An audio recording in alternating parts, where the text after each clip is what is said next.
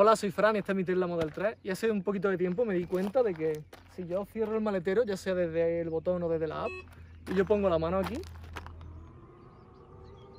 lo más normal es que te la machaque, ¿vale? Entonces voy a hacer una prueba con diferentes productos, a ver qué pasa. ¡Ey! No se mal pensado una salchichita, ¿vale? La primera prueba. Si lo ponemos aquí con el plástico, no dudo no creo que pasen en verdad, pero si lo ponemos aquí igual, ya sí es más interesante, ¿eh?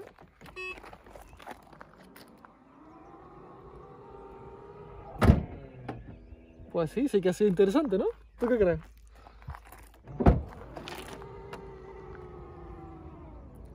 La salchicha sí que es verdad que es bastante blandengue, entonces vamos a probar con algo más durito poco a poco, a ver cómo va evolucionando. La segunda prueba, ¿vale? Un plátano de Canarias, ¿eh?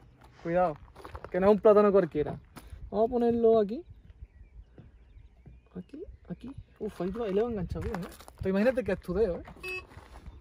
Ahí le va a enganchar fuerte, creo yo, ¿eh? Barato el plátano. Uf.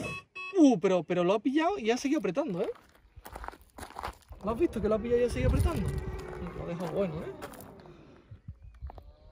Un poquito más para abajo, a ver si aquí... A ver si tu hijo o tu hija pone la mano ahí... Si le pega más fuerte.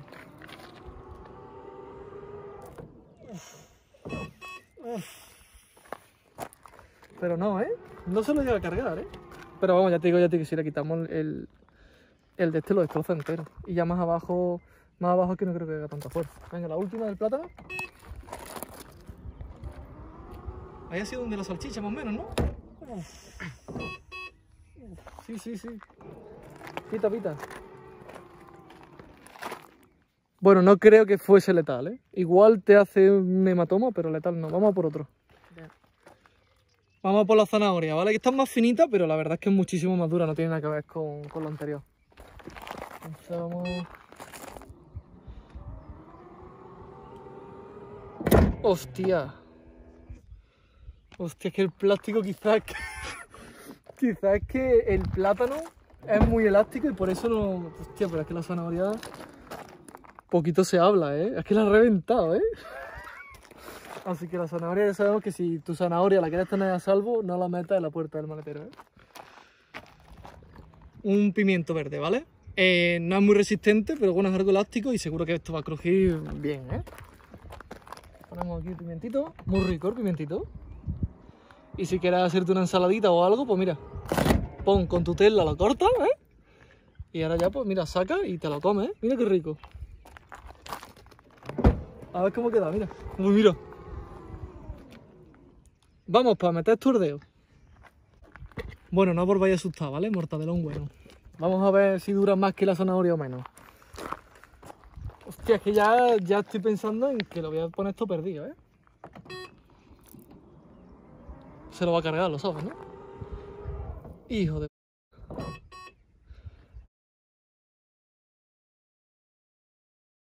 Dios, pero si es que lo peor no es eso, lo peor es que cuando se da cuenta es cuando ya ha bajado, ha apretado un poco y sube, ¿eh? O sea, no me gustaría que esto fuese el bracito de un niño, ¿eh? ¿Cómo lo ves? ¡Puf! Madre del señor, El calabacín. Esto yo creo que es lo más duro y a nivel de flexibilidad le pasará como, como al plátano. O sea, es bastante flexible, pero es duro, esto es duro, ¿eh? O sea, que no es, tonto, es una tontería. Voy a ponerlo aquí. Y vamos a ver si podemos seguir haciendo la ensalada o hay que coger un cuchillo ya.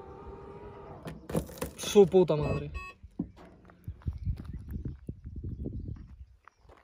Pero lo peor no es que lo corte, tío. Lo peor es que le da y sigue.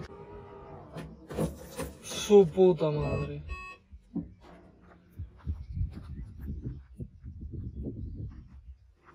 ¿Tú has visto que como presiona y luego sigue? Vamos a ponerlo aquí más arriba, que está más duro. Parte 2 de la ensalada.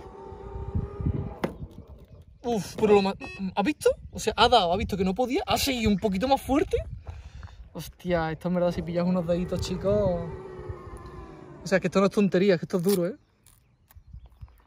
No, esto es para los jabalíes. Pues nada, yo creo que esta era... Esta era la prueba más dura, sinceramente. Viendo lo que le ha hecho a la zanahoria. O sea, es que una zanahoria es que esto es duro, ¿eh? O sea, es que esto no es tontería, que esto no se rompe fácil, ¿eh? Es que no se rompe fácil y mira.